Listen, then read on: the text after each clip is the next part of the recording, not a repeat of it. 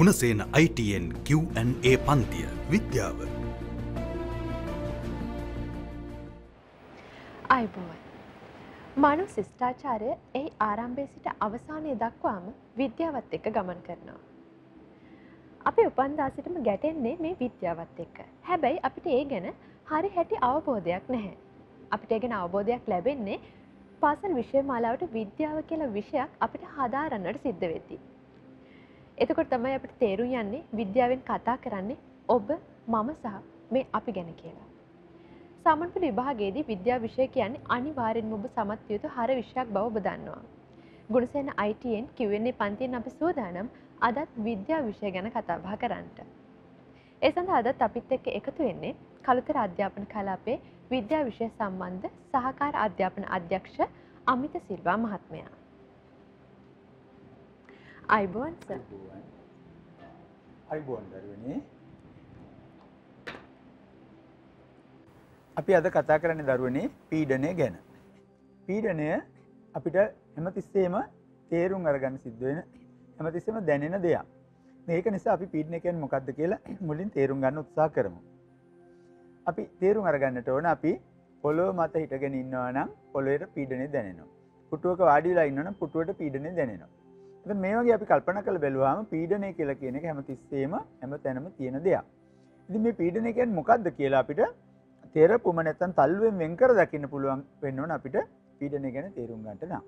ඒ නිසා අපි මුලින්ම කල්පනා කරලා බලමු මොකද්ද පීඩනය කියන්නේ කියලා. දැන් අපි චලිත නියම වගේ දේවල් වලදී තෙරපුම ගැන බලය ගැන තල්ලුවක් හෝ ඇදිමක් ගැන කතා කරලා තියෙනවා. ඒ නිසා අපිට මේකෙදි තේරුම් අරගන්න සිද්ධ වෙනවා පීඩනය කියන්නේ මොකද්ද කියලා. පීඩනය කියලා කියන්නේ ඒකක වර්ග ඵලයක් මත ක්‍රියා කරන බලය. එතකොට ඒකක වර්ග ඵලයක් මත ක්‍රියා කරනවා කියලා කියන්නේ අපි හිතමු වර්ග මීටර 10ක විශාල කොටසක අපි මොනවා හරි බරක් තියලා තියෙනවා.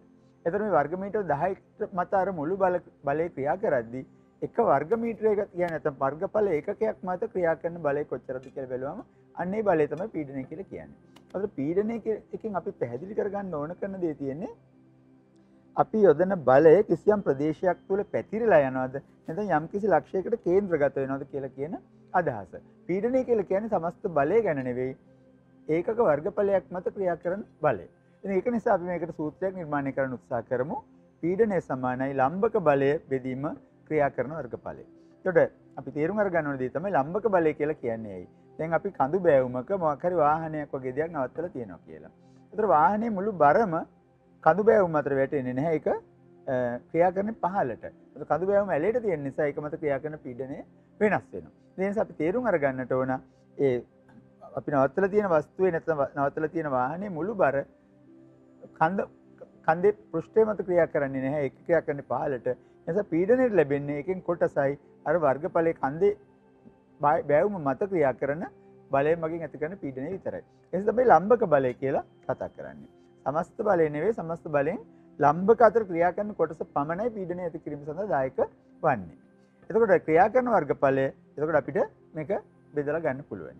එනිසා පීඩනයේ මන්න ඒකකය අපි තේරුම් ගන්නට ඕනේ මේකට අපි කියන්නේ පැස්කල්. මොකද මේ පැස්කල් කියන විද්‍යාඥයා ඉස්සර ද්‍රව පීඩනය පිළිබඳ ඉතාමත්ම වැදගත් සොයා ගැනීම කීපයක් කරලා තියෙනවා.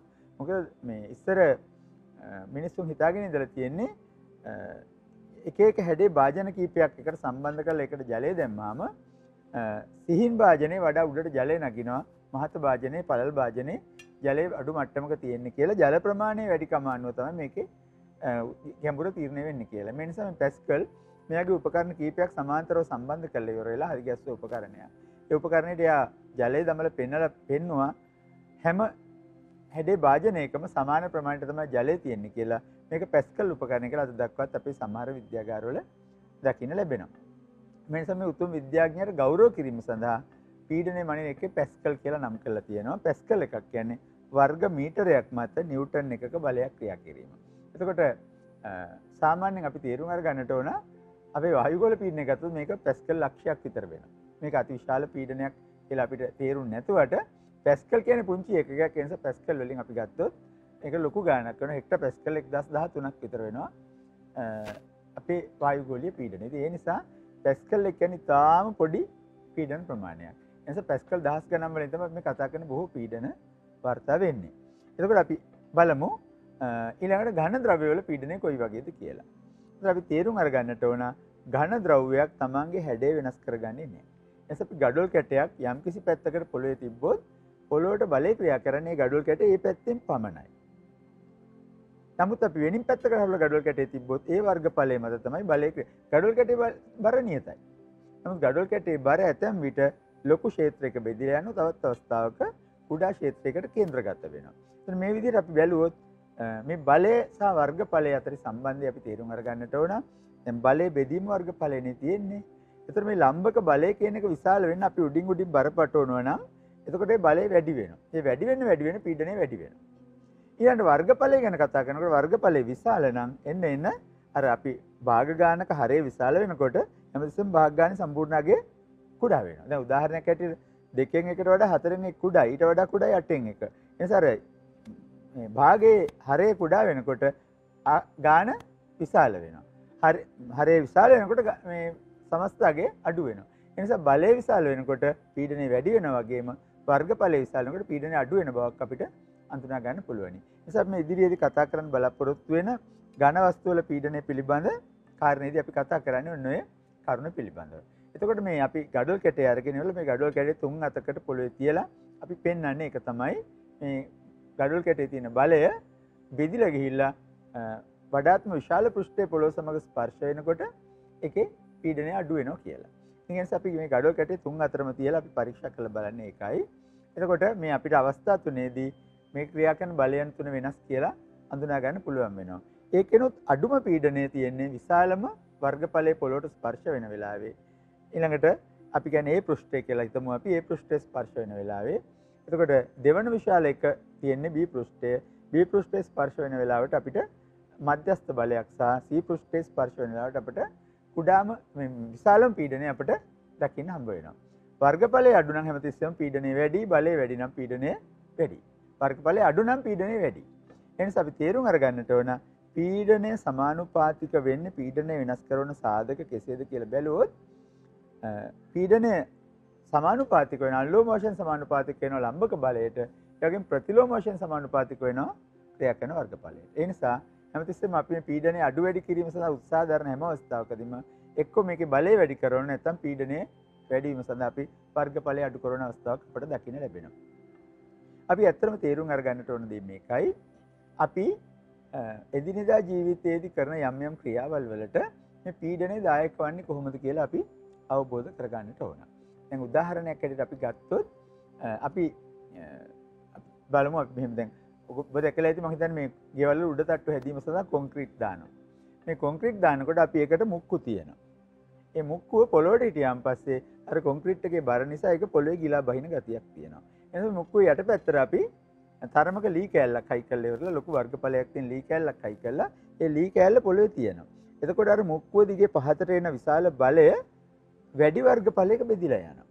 බෙදිලා ගියාට පස්සේ වෙන්නේ මොකද පීඩනය අඩු වෙනවා. අපිට බලය අඩු කරන්න බෑ. වහලේ බර කොන්ක්‍රීට් එකේ බර එමතම තියෙනවා. ඒක වෙනස් වෙලා නැහැ. නමුත් මේ බලය බෙදිලා යන වර්ගඵලය වැඩි කිරීම මගින් අපි අර මුක්කුව පොළොවේ ගිලා බසින එක වළක්ව ගන්න අපිට පුළුවන් වෙනවා. ඒ වගේම අපි තව දැකලා තියෙන දෙයක් තමයි දැන් වාහනයක් කැඩුණා අපි ඒකේ ජැක්කුවක් මගින් උඩට උස්සනවා.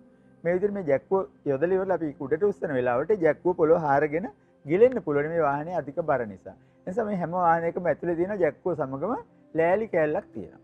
මේ ලෑලි කෑල්ල පොළොව මත තියලා ඒක උඩ ජැක්කුව තියලා තමයි ජැක්කුව ක්‍රියාත්මක කරන්නේ වාහනේ ඔසවන්න. ඒ නැතුව ඒකේ ජැක්කුවේ පාදයේ පොළොවට තියලා ඒක වැඩ කෙරෙව්වොත් වෙන්නේ මොකද? ඒක පොළොවේ ගිලා බහිනවා. ගිලා බහැලා අපිට අවශ්‍ය දේ වාහනේ ඔසවන්නේ කරගන්න බැරි වෙනවා. එතකොට එවැනි අවස්ථාවලදී අපි හැමතිස්සෙම කරලා තියෙන්නේ ඒකේ වර්ගඵලය වැඩි කරලා පීඩනයේ බලය බෙදා හැරලා පීඩනය අඩු කිරීමක් තමයි කරලා තියෙන්නේ. මේකේ අනිත් පැත්තක් තියෙනවා. මේ අනිත් පැත්ත තමයි ඔබ කල්පනා කරලා බැලුවොත් අපි යකඩෑනයක් අරගෙන මේ යකඩෑනේට මෙහෙම ඇඟිලි දෙක තියලා මෙහෙම තද කරොත් යකඩෑනය අපිට දකින්න හම්බ වෙන දේ තමයි මොකද්ද මේ යකඩෑනේ උල් පැත්ත අපිට අපේ අතේ තදින් ඇනෙනවා අනිත් පැත්තේ එහෙම ඇනෙන්නේ නැහැ. ඒකෝට අපි දෙපැත්තෙන් ක්‍රියා කරපු බල දෙක සමාන නිසා මේ ඇණය අපේ අතේ එක් පැත්තක විතරක් ගිලා බසින්නේ කෙසේද කියලා අපි විද්‍යාත්මකව කල්පනා කරන්නට ඕන. ගුණසේන ITN Q&A පන්තිය විද්‍යාව උදරුවනේ අපි කතා කරමු ද්‍රව හා වායු වල පීඩනය ගැන. එතකොට ඝන වස්තු වල නැති ද්‍රව හා වායු වලට අයත් වෙන ගුණාංග මොනවද කියලා අපි තේරුම් ගන්නට ඕන. ඒ ගුණාංග වලින් තමයි ද්‍රව හා වායු පීඩනය ඝන වස්තු වලින් වෙනස් වෙලා අලුත් විදියකට අපිට කතා කරන්න සිද්ධ වෙන්නේ. ඝන වස්තු වල ස්ථිර හැඩයක් තිබුණා. ඒ නිසා ඝන වස්තු මොකක් හරි මත තිබ්බා මේකේ යටපැත්තේ පෘෂ්ඨයෙන් පමණයි ඒ ද්‍රව්‍ය කෙරේ පීඩනයක් ඇති කරන්නේ. නමුත් ද්‍රව වලට තරල වලට කියන්නේ වායු සහ ද්‍රව වලට හැඩයක් නොමැති නිසා අපි ඒකට දීපු බලය හැම පැත්තටම බෙදිලා ගිහිල්ලා හැම අතරම පීඩනය බවට පරිවර්තනය වෙනවා. ඒ නිසා අපිට ඝන වස්තු වල පීඩනය ගැන කතා කරපු ක්‍රමයට වඩා වෙනස් විදිහකට තමයි ද්‍රව හා වායු වල පීඩනය කතා කරන්න වෙන්නේ. ඒක නිසා අපි අලුත් දෘෂ්ටි කෝණයකින් අලුත් විදිහකට බලන්න සිද්ධ වෙනවා එක ගැන. ද්‍රව හා වායු පීඩනය තමයි විශේෂයෙන්ම ද්‍රවවල පීඩනය කාරණා තුනක් මත රඳා පවතිනවා අපිට දකින්න පුළුවන්. අපි බලමු මොනවද කියලා. මේක අපි බොහොම පල්ලෙහා පන්ති වල ඉඳලා කතා කරන් එන දෙයක්. නමුත් 11 පන්තිය නැත්නම් 10 පන්තියට ආවට පස්සේ නැත්නම් සාමාන්‍ය පෙළ විභාගයට මුහුණ දෙනකොට අපිට ඒ පිළිබඳව හොඳ සුසංහිත හොඳ හැඩ ගැසුණු දැක්මක් අවශ්‍ය වෙනවා මේ කරුණ වලට පැහැදිලි කරගන්න නම්. එවනම් මේ රූපයෙන් පෙන්වන්නේ පොලිතීන් කවරයකට ජලය පුරවලා ඒක අපි මිරිකගෙන ඊට පස්සේ අපි ඒක සිදුරු කීපයක් විතර දෙපැත්තෙන් තද කරන එක. එතකොට අපි දෙපැත්තෙන් පීඩනය යොදන නිසා ජලය විදින්නත් ඕන දෙපැත්තට විතරයි. ඒක ඝන වස්තුවකට කරා නම් අපි දෙපැත්තෙන් යොදන පීඩනය මෙහෙම යෙදෙනවා මිසක් ඒක වෙන පැති වලට මේ පීඩනය වෙනස් වෙලා යන්නේ නැහැ. නමුත් අපි මෙහෙම හෙරපුත් පොගම් මොකද වෙන්නේ හැම සිදුරකින්ම වතුර විදිනවා. ඒ නිසා අපි තේරුම් අරගන්නට ඕන මේ ද්‍රව අණු එකිනෙක මත ලිස්සල යන අංශු. ඒ නිසා මේ ලිස්සල යන අංශු වලට අපිට පුළුවන් වෙනවා තෙරපුමක් දුන්නු ගමන් ඒ තෙරපුම ලිස්සගෙන ගිහිල්ලා අර අංශු එකිනෙකින් ලිස්සීම නිසා ගිහිල්ලා හැම පැත්තටම තෙරපුමක් විදිහට ක්‍රියා කරනවා. ඒ නිසා ද්‍රව පීඩනය සෑම දිශාවකටම ක්‍රියා කරයි කියන එක අපි හරියට පැහැදිලිව තේරුම් අරගන්නට ඕන. ඒක තමයි අපිට පළවෙනියම පැහැදිලි කරගන්න තියෙන්නේ මේ රූප සටහනේ පේන පොලිතීන් කවරය අපි නොක් පැතුලින් විදලා ඒකට වතුර පුරවල එක දෙපැත්තෙන් තද කරනවා. තද කරාම සෑම පැත්තකටම ජලය ඉදිරි. ඒ නිසා අපිට තේරුම් අරගන්න සිද්ධ වෙනවා ද්‍රව පීඩනයේ සෑම දිශාවකටම ක්‍රියා කරයි කියලා. ඊළඟට දරුවනේ අපි කතා කරමු ද්‍රව හා වායු පීඩනය ගැන කතා කරද්දී ඒකේ තියෙන විශේෂ ලාක්ෂණික තුනක් ගැන. මම කලිනුත් කියලා තියෙනවා ලාක්ෂණික කියලා කියන්නේ ඒවටම ආවේනික වෙච්ච, ඒවටම අනන්‍ය වෙච්ච ලක්ෂණ වලට කියලා. මේ ලක්ෂණ මතු වෙන්නේ අපිට පැහැදිලි වෙනවා ඝන වලට වඩා ද්‍රව වස්තු වල තියෙන ද්‍රව වල තියෙන වෙනස නිසා. එතකොට අපි ඝන වස්තුවකට පීඩනය යෙදුවොත් ඒ පීඩනය අපි දෙපැත්තෙන් පීඩනය යෙදුවොත් ඒක ඒ දෙපැත්තට පමණයි ක්‍රියාත්මක වෙන්නේ. අනික් පැති වලට පීඩනය යන්නේ නැහැ. මොකද ඝනයකට ස්ථිර හැඩයක් තියෙන නිසා. එතකොට ද්‍රව වල මීට වඩා මේක වෙනස් වෙනවා. ද්‍රව වල හැඩය ස්ථිර හැඩයක් නැහැ. අපි දාන ලද භාජනයේ හැඩයට ද්‍රවය හැරෙනවා. ඒක නිසා මේ ද්‍රව ද්‍රවවල පීඩනය හැමතිස්සෙම හැම පැත්තරම ක්‍රියා කරනවා. මේ රූප සටහනෙන් පෙනෙන ඒ වගේ එකක් අපි පොලිතින් කවරයකට ජලය පුරවල ඉවරලා ඒක සිදුරු විදලා ඒක දෙපැත්තෙන් හිරිකනවා. ඒතර මේ දෙපැත්තෙන් අපි යොදන පීඩනය නිසා හරිනම් විදින්න ඕන දෙපැත්තට විතරයි. නමුත් ද්‍රව අංශු වල තියෙන හැඩේ ලිස්සා යාම නිසා ඒ ලිස්සා යාම හේතුවක් විදිහට අපි දෙපැත්තෙන් යොදන ලද බලය හැම පැත්තටම ක්‍රියා කළා. මේ බලය හැම පැත්තටම ක්‍රියා කරන හැම සිදුරින්ම ජලය විදිනවා. ඒක නිසා අපි අවබෝධ කරගන්නට ඕන ද්‍රව පීඩනයේ සෑම අතරම ක්‍රියා කරයි කියන කාරණය. පළවෙනි කාරණේ පළවෙනි ලාක්ෂණික ඒකයි. දෙවෙනි ලාක්ෂණිකය වෙන්නේ ද්‍රව පීඩනය වැඩි වෙනවා මොකක් වැඩි වෙනකොටද ගැඹුර වැඩි වෙනකොට. අපි මේ තියලා තියෙන භාජනයේ සිදුරු කීපයක් ඉදලා තියෙනවා. දැන් ඔබ පාසලේ මේ මේ පරීක්ෂණය කරනවා නම් ඔබට මම හිතන පුංචි උපදෙස් දෙකක් දෙන්නට ඕන. එකක් තමයි මේ නිකන් පැතලි වාජනයක මේ පරීක්ෂණය කළාට අපිට මේ වෙනස දකින්න හම්බ වෙන්නේ නැහැ. එනිසා මේක මේසයක් වගේ තැනක අයිනකින් තියලා ඒකෙන් ජලය පහළට වැටෙන විදිහට ඉඩ තියලා හදන්නට ඕන. එතකොට අපි තේරුම් අරගන්න ඕන මේ මේ විදිහට තියෙන මේ සිදුරු කීපයෙන් වඩාත්ම පහළින් තියෙන ගැඹුර වැඩිම සිදුරෙන් තමයි වඩාත්ම දුරකට ජලය විදින්නේ කියලා ඔබට දැක් ගන්න හම්බ වෙවි. ඒ නිසා අපි තේරුම් අරගන්නට ඕන ද්‍රවයක පීඩනය නිර්මාණය වෙන්නේ ද්‍රව කඳේ බර අනුව. ඒක ද්‍රව කඳේ බර නිර්මාණය වෙන්නේ ද්‍රව කඳේ උස අනුව. ද්‍රව කඳේ බර වැඩි වෙනවා ද්‍රව කඳේ උස වැඩි වෙනවා. ඒ නිසා ද්‍රවයක ගැඹුර වැඩි වෙනකොට ඒකේ පීඩනය වැඩි වෙන බව අපි බොහොම සරල බොහොම පැහැදිලිව තේරුම් අරගන්න පුළුවන් අපිට. ඒ නිසා තමයි මේ සිදුරු පේලියෙන් පහලින්ම නැත්නම් ගැඹුරින්ම විදලා තියෙන සිදුරෙන් වඩා දුරකට ජලය විදින්නේ. ඉතින් ඒ ඒ අරුණම අපි තව දෙයක් කරන්නට ඕන. අපි මේ සිදුර විදිනකොට එක පේරියට විදින්නේ නැතුව පොඩ්ඩක් එහාට මෙහාට වෙන විදින්න ඕනේ. එහෙම නැත්නම් මේ දියපාරවල් තුනම එකට එක්කව වෙලා තනි ජල ධාරාවක් විතර වැක්කිරෙනවා. ඒතර අපි මේ පරීක්ෂණය කරගන්න බැරුව යනවා. එනිසා මේ සිදුරු වලින් වැක්කෙන ජල පාරවල් එකට එකතු නොවෙන්න පොඩ පොඩ වෙනස් තැන් වලින් මේ සිදුරු විදින්න මතක තියාගන්න ඕනේ. ඒ වගේම මේවට ප්‍රමාණවත් උසක් දෙනවන පාතර වැටෙන්න එතකොට තමයි අපිට මේ පරීක්ෂණය වඩාත් නිවැරදිව කරගන්න පුළුවන් වෙන්නේ. ඒ නිසා මම හිතන්නේ මම මේ කිව්වේ ඔබට ඔබ මේ පරීක්ෂණය කරන්න කියලා වරදවා ගනී කියන හැඟීම නිසා. ඒ නිසා මෙන්න මේ වගේ ක්‍රමයකට මේ පරීක්ෂණ නිර්මාණය කරගන්න කියලා මම ඔබෙන් ඉල්ලනවා. ඒතර අපේ දෙවනි ලාක්ෂණිකය මේකයි ගැඹුර වැඩි වෙන විට ද්‍රවයක පීඩනය වැඩි වෙනවා. ඉතින් වායුවකත් මේක මේ විදිහම තමයි. ඔබ තේරුම් අරගන්නට ඕන ද්‍රවයක යට ගිලෙනකොට අපිට ඒකේ ගැඹුර දැනෙනවා, බර දැනෙනවා. නමුත් අපි කිලෝමීටර් 1000ක් විතර උස වායු ගෝලයක පතුලේ තමයි ජීවත් වෙන්නේ. එතකොට වායු ගෝලයේ පතුලේ ඉන්න අපිට අපේ ශරීරය මත සමස්ත වායු කඳේ පීඩනය වැටලා තියෙනවා. ඒ නිසා මේක විශාල පීඩනයක් හැටියට අප මත ක්‍රියා කරන නමුත් මේ පීඩනය අපි දරාගෙනම තමයි ඉපදිලා තියෙන්නේ. ඒ නිසා අපිට වායු ගෝල පීඩනය දැනෙන්නේ නැහැ. මේ වායු ගෝල පීඩනයත් එක්ක ජීවත් වීමට තමයි අපි උපතේ ඉඳලා මැද ගෙහිලා තියෙන්නේ. ඒ නිසා අපිට වායු පීඩනය නැති තැනකට ගිහින් ජීවත් වෙන්න බෑ. නමුත් මේ වායු පීඩනය නැති තැන අපිට හොඳින් ජීවත් වෙන්න පුළුවන්. ඒ නිසා මම ඒක මතක් කරේ මේ වායු පීඩනය සහ වායු ගෝලීය පීඩනය කියන දෙක අපි කතා කරන්න ඉන්න නිසා. ගුණසේන ITN Q&A පන්තිය විද්‍යාව ඒතර තුන්වෙනි ලාක්ෂණිකයට අපි ගන්න මොකද්ද? ද්‍රවයක එකම මට්ටමකදී සෑම දිශාවකටම පීඩන සමාන වෙනවා. මේ මම හිතන්නේ මේ පරීක්ෂණය කරද්දී අපිට පොඩි ගැටලුවක් තියෙනවා. උඩට සහ පාතර ජලයේ විදින ආකාරය අපිට පෙන්වන්න බෑ. නමුත් අපි ඒක උපකල්පනය කරලා ගනිමු. අපි කරන්නේ සිලින්ඩරයක් අරගෙන සිලින්ඩරේ එක සමාන උසකින් සිදුරු කීපයක් එක වටේට විදිනවා. විදලා අපි ට්‍රේ එකක් වගේ වස්තුවක් ඇතුලේ දා බඳුනක් ඇතුලේ එක තියලා වතුර ගලා යන්නේ නැති වෙන හිට මෙහෙට අපි ඒකට උඩින් වතුර වක් කරනවා. මේ වැක්කිරුවාම මේ සිදුරු වලින් වටේටම හැම පැත්තෙම සම දුරක් තමයි විදින මේ x කියන අක්ෂරයෙන් දක්වලා තියෙන මේ දියපහර සහ කියන විදින ජල ධාරාව සහ අපි බඳුනේ පතුල අතර දුර. එතකොට මේක කොයි පැත්තෙන් මැල්ල බැලුවත් එක සමාන වෙනවා. ඒකෙන් අපිට පේන්නේ හැම පැත්තටම එකම දුරකට තමයි ජලය විදින්නේ. මේක ඇතුලේ එකම පීඩනය තමයි ක්‍රියා කරන්නේ හැම පැත්තටම කියලා. නමුත් අපිට පරීක්ෂණ නිර්මාණය කරගන්න බැහැ දරුවනේ අපේ පන්ති කාමරය තුලදී උඩට සහ යටට මේ පීඩනය ක්‍රියා කරන ආකාරය පිළිබඳව. ඒකත් බලු බැලුවොත් මේ විදිහම තමයි. හරි. ඒ නිසා අපි අපිට පුළුවන් ප්‍රමාණය මේක තේරුම් අරගනිමු.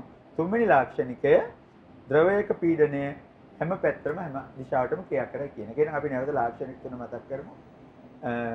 අපි තේරුම් අරගන්නට ඕන පළවෙනි එක තමයි ද්‍රව පීඩනය සෑම දිශාවකටම ක්‍රියා කරයි. ඊළඟට ගැඹුර වැඩි වෙන විට ද්‍රව පීඩනය වැඩි වේ. තුන්වෙනි එක තමයි සලකන ලද යම් මට්ටමකදී සෑම දිශාවකටම ද්‍රව තුල පීඩනය එකම එක ආකාරය නැත්නම් නියතයි කියන එක. ඊළඟට අපි බලමු වායු පීඩනය පිළිබඳව. වායු පීඩනයත් මේක සමාන තත්ත්වයක් තියෙන්නේ. අපි මේ දක්වලා තියෙන උපකරණය J නලයක් නැත්නම් J හැඩයට නවාගත්තු නලයක්. එහෙනම් U නලයකුත් මේකට U හැඩේ නවාගත්තු නලයකුත් පාවිච්චි කරන්න පුළුවනි. එතකොට අපි මේක කරලා තියෙන්නේ මොකද්ද? අපි එක එක පැත්තකට බෝලයක් කියන්නේ රබර් බෝලයක් සවි කළා අපි ඒකට පීඩනයක් ඇති කරන්න පුළුවන් ආකාරයට හදාගෙන තියෙනවා. ඒතර අපි මේ බෝලේ හයි කරන අවස්ථාවේදී මේකේ මේ යූ නලේ බාහුව දෙකේ තියෙන ජලය හෝ රසදිය හෝ මොනවාරි අපි සාමාන්‍ය ජලය දාන්නේ. ඒතර මේ ජල මට්ටම් දෙක සමාන වෙන විදිහට අපි සකස් කරගෙන තියෙන්නේ. ඒතර මේ විදිහට අපි සකස් කරගත්තු මට්ටම් දෙක ඒ විදිහටම තියෙන විදි තියෙන තියෙනවද කියලා බලමින් අපි රබර් බෝලේ යම්තමින් ප්‍රෙස් කරනවා බොනවා. එබුවාම ඒ පැත්තේ ජල කඳ පහළට ගිහිල්ලා අනිත් පැත්තේ ජල කඳ ඉහළට යනවා අපිට දකින්න ලැබෙනවා. ඒ නිසා මේ දෙවන රූපයේ මේ උස් ජල කඳක් දකින්න හම්බ වෙන්නේ මේක ප්‍රතිඵලයක් වශයෙන්. ඒ අපි තේරුම් අරගන්නට ඕන අමතර පීඩනයක් ක්‍රියා නොකරන වෙලාවට මේ බාහුව දෙක මතම ක්‍රියා කරන එක යූනලේ බාහුව දෙකේ තියෙන ජල කඳන් දෙක මත ක්‍රියා කරන බලයන් දෙකම සමානයි. ඒ නිසා මේ පීඩන දෙක සමාන නිසා යූනලේ දෙපැත්ති මට්ටම් දෙක එක සමානව අපිට පෙන්වන්න කරන්න පුළුවන්. නමුත් අපි එක පැත්තකින් තෙරපමක් දුන්නාම වෙන්නේ මොකද මේ පැත්තෙන් දීපු වැඩි තෙරපම නිසා මේ පැත්තේ යූනලේ ද්‍රව කඳ පහළ ගිහිල්ලා අනිත් පැත්තේ ද්‍රව කඳ ඉහළට යනවා. ඉතින් ඒ නිසා අපි මේ අපි දීපු අමතර පීඩනයේ වාර්තා වෙන්නේ අර වැඩි ද්‍රව කඳේ උසෙන්. ඒ මොකද එක මට්ටමකදී ද්‍රවය හැම පැත්තටම තියෙන පීඩනය සමාන කියලා අපි දැන් මොහොතකට ඉස්සෙල්ලා කිව්වා. ඒ නිසා යූනලේ බාහුව ගත්තාම එක මට්ටමකදී ඒ දෙපැත්තෙම තියෙන පීඩන දෙක සමාන වෙනවා. ඒ නිසා අමතර ද්‍රව කඳෙන් තමයි අපි අමතරව යොදපු පීඩනය පෙන්වන්න කරන්නේ. ඒ නිසා දැන් අපිට පීඩනය දැක්වීම සඳහා ක්‍රම දෙකක් මේකත් එක්කම මතුවෙනවා. ඒ මොකද්ද? පැස්කල් වලින් පුළුවන් අපිට අපි කලින් කතා කරා වගේ පැස්කල් වලින් ඝන වස්තු වල පීඩනය ප්‍රකාශ කරන්න පුළුවන්. ද්‍රව වල පීඩනයත් පුළුවන් ප්‍රකාශ කරන්න. දැන් ඊළඟ එක තමයි තවත් ක්‍රමයක් තියෙනවා රසදිය මිලිමීටර වලින් ප්‍රකාශ කරන්න පුළුවන්. රසදිය මිලිමීටර වලින් කියලා කියන්නේ රසදිය කඳක උසෙන්. දැන් ඔබ දැකලා ඇති මම හිතනවා ඔබේ රුධිර පීඩනය මනින්න සමහර වෙලාවට වෛද්‍යවරයෙක් ගාවට ගියාම යොදා ගන්න උපකරණය රසදිය වලින් තමයි උස වැඩි වෙනව පෙන්වන්නේ. ඒතර අපේ ශරීරයේ අ, දිවෙන රුධිරයේ පීඩනය අර රසදිය කඳේ මිලිමීටර ගණනින් තමයි නිරූපණය වෙන්නේ. ඒතර ඒ විදිහට අපේ රසදිය කඳක හෝ ජල කඳක උසෙන් පෙන්වන්න පුළුවන් පීඩනය. තවත් මම හිතන සුවිශේෂී අවස්ථාවක් තියෙනවා. අ, වායුගෝලීය පීඩනය පමණක් ප්‍රකාශ කරනකොට මිලිබාර් කියලා වෙනත් ඒකකයක් තියෙනවා. මේ මිලිබාර් වලින් තමයි වායුගෝලීය පීඩනය ප්‍රකාශ කරන්නේ සමහර වෙලාවට. ඒතර මේ ර- මේ අපි එක එක විදිහට කිව්වොත් අපිට තේරුම් යනවා මිලිබාර් වලින් කිව්වොත් මේ වායුගෝලීය පීඩන 1013ක් රසදිය මිලිමීටර වලින් කිව්වොත් ඒක 760ක් ඊළඟට අ, අපි ගත්තොත් හෙක්ටා පැස්කල් වලින් ගත්තොත් ඒක අ, ඒ 1013ක් විතර ප්‍රමාණයක් තමයි වෙන්නේ. ඒතර මේ වගේ අපිට තේරුම් යන්නට ඕන අ, අපිට එකම පීඩනය ප්‍රකාශ කිරීම සඳහා විවිධ ආකාරයන් තියෙනවා. ඒ නිසා අපි සාමාන්‍යයෙන් අපේ ද්‍රව කඳේ පීඩනයක් විදිහට මේක ප්‍රකාශ කරන්න පුළුවන්. ඊළඟට අපි පැහැදිලි කරගන්න ඕන දේ තමයි අ, මේ රූප දෙකේම ජල මට්ටම් දෙක සමාන වෙලා තිබිලා වෙනස් වෙන්නේ අපි එක පැත්තකින් වැඩි පීඩනයක් තිබ්බ නිසා. ඊළඟට මම හිතන්නේ අපි තව අලුත් කාරණා කීපයක් කතා කරන්න ඕන. ඒ තමයි වායු පීඩනයට අමතරව වායු ගෝලීය පීඩනය පිළිබඳව. ඒතර වායු ගෝලීය පීඩනය පිළිබඳව කතා කරනකොට මම කිව්වා ඔබට වායු ගෝලීය පීඩනය රසදිය මිලිමීටර 760ක් විදිහට තමයි වාර්තා වෙන්නේ. එහෙම නැත්නම් අ, අපි ගත්තොත් හෙක්ටා පැස්කල් වලින් පීඩනය තියෙන 1013ක් විදිහට. එතකොට අ, මේ අදහස අපි තේරුම් අරගන්න තියෙන්නේ වායු පීඩනය ඇති වෙලා තියෙන්නේ කොහොමද? අපි මත පැටවිලා තියෙන මේ කිලෝ මේ කිලෝමීටර් දහසක විතර උස වායු සාගරයේ පතුලේ තමයි අපි ජීවත් වෙන්නේ. දැන් මුහුදක බහැලා එක යටට යනකොට මුහුදේ තියෙන ජල කඳේ බර ඒ යන පුද්ගලයන් අතර දැනෙනවා වගේ මේ වායු කඳේ බර තමයි අපිට පීඩනයක් බවට පරිවර්තන වෙලා අපිට දැනෙලා තියෙන්නේ. ඒ නිසා මේ පීඩනය අපි මත ක්‍රියා කරමින් පවතිනවා. ඒ නිසා අපි වායුගෝලීය පීඩනය මැනීම සඳහා කරන්නේ මොකද්ද? එක පැත්තක් වහන ලද නලයකට රසදිය පුරවල ඉවර වෙලා එක යටිකුරු කළා අපි අ, තවත් රසදිය බඳුන කොබ්බලා අපේ ඇඟිල්ල ඉවතර ගත්තා මේ මේ රසදිය කඳ පල්ලෙහාට බහැලා ඉවර වෙලා සෙන්ටිමීටර් 71 උසෙන් නතර වෙනවා. එතකොට අපි තේරුම් අරගන්නට ඕන මේ ද්‍රව කඳට ඉහළින් තියෙන්නේ මොකක්ද කියලා මේ ද්‍රව කඳට ඉහළින් තියෙන පීඩනය තමයි මේ අවකාශය තමයි රික්තයක් වෙන්නේ. මේ වගේ විෂය කරුණු වලට අමතරව ප්‍රායෝගික ජීවිතයේ අපිට වැදගත් වෙන කරුණු බොහොමයක් අද ගුණසේන ITN Q&A පන්තියෙන් අපි සාකච්ඡා කළා. ඒ ගැන කතා කරන්නට අදත් අපිත් එක්ක එකතුනේ කළුතර අධ්‍යාපන කලාපයේ විද්‍යා විෂය සම්බන්ධ සහකාර අධ්‍යාපන අධ්‍යක්ෂ අමිත සිල්වා මහත්මයා. ඔබතුමාටත් බෙහෙවින් ස්තුතිවන්ත වෙනවා අද දවසේදීත් අපිත් එක්ක සම්බන්ධ වීම පිළිබඳව. ඒ වගේම හෙට දවසේදී Q&A පන්තියෙන් ඔබත් එක්ක හමුවීමේ බලාපොරොත්තුවෙන් අදට අපි සමුගන්නවා. ඔබට සුබ දවසක්. Thank you.